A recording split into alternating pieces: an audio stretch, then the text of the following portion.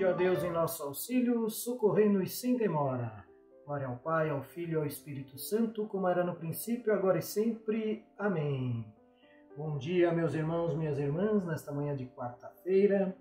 Vamos ouvir e meditar a palavra de Deus. A palavra de Deus neste dia está em Marcos, capítulo 3, versículo de 1 ao 6, e vai nos narrar a história do homem da mão seca que chega num dia de sábado na sinagoga para que Jesus o cure.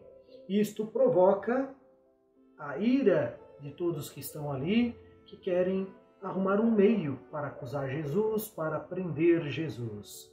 E Jesus então vai perguntar: o que é permitido no dia de sábado? Fazer o bem ou fazer o mal? Salvar uma vida ou perder uma vida? Isto coloca eles em situação delicada Jesus então chama o homem e faz a cura.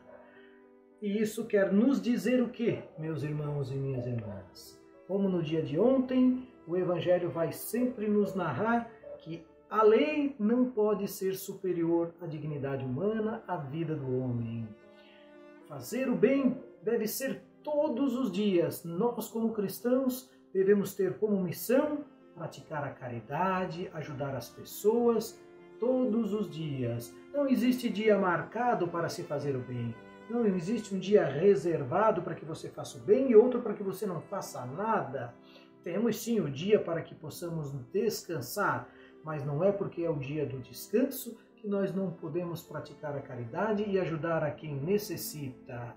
Por isso, hajamos como Jesus, sejamos inteligentes e coloquemos a vida sempre em primeiro lugar a caridade, o amor, a fraternidade precisam ter espaço todos os dias dentro do nosso coração. Louvado seja nosso Senhor Jesus Cristo, para sempre seja louvado.